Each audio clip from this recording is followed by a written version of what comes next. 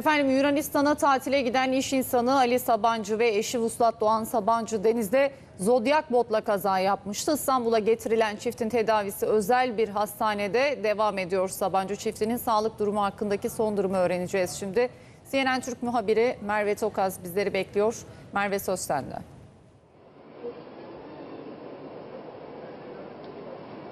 Meltem Sabancı çiftinin sağlık durumunun olumlu yönde seyrettiğini ifade ederek başlamak istiyorum sözlerime. Sabancı çifti hemen bulunduğumuz bu noktadaki özel hastanede e, tedavi altında ve tedavileri de devam ediyor. Tabii çiftin sağlık durumuna ilişkin son açıklama e, Ali Sabancı'nın hali hazırda yönetim kurulu başkanlığını yapmış olduğu e, şirketten geldi. Hemen o açıklamayı aktarmak istiyorum. O açıklamada şu ifadeler yer alıyor. E, yönetim kurulu başkanı Ali Sabancı ve eşi Vuslat Doğan Sabancı'nın 24 Ağustos 2023 tarihinde geçirdikleri deniz kazasının ardından Cuma günü geçirmiş oldukları tüm operasyonlar başarıyla sonuçlanmıştır. Tedavileri titizlikle devam etmektedir ifadeleri yer aldı. Yine aynı paylaşımda bir not daha düşüldü. Özellikle kamuoyunda son günlerde yer alan haberlere ilişkinde şöyle bir açıklama yer aldı.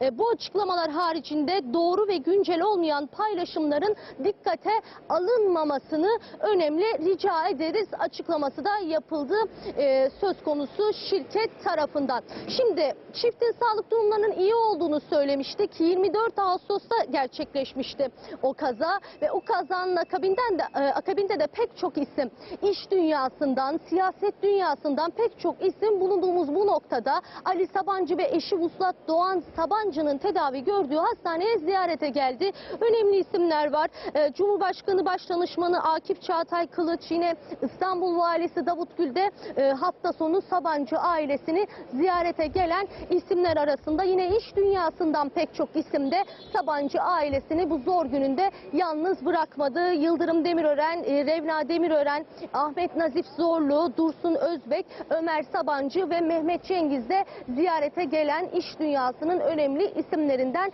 birkaçıydı. Bunu da ifade etmiş olalım. Şimdi sağlık durumlarının nispeten iyiye doğru gittiğini ifade etmiştik. Peki kaza nasıl yaşandı? Aslında 3 gün boyunca e, konuşuyoruz. E, kaza 24 Ağustos e, saatler akşam saatlerini gösterdiğinde yaşandı. Aslında Ali Sabancı ve eşi Vuslat Doğan Sabancı uzunca bir süredir Yunanistan'da tatil yapıyorlardı. Aileleriyle birlikte e, tatil yapmak için Yunanistan'ın Leros adasına gitmişlerdi. Ve o gecede kazanın yaşandığı akşamda hep birlikte yemek yemek için ailecek e, tekneleriyle birlikte teknelerini Leros adasına bıraktılar ve bir zodyak bota bindiler.